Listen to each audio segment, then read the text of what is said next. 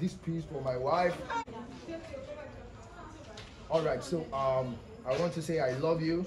I love you so much, and um, every time I see you smile, uh, your smile makes the flower bloom. Uh, and your smile can light up an entire room.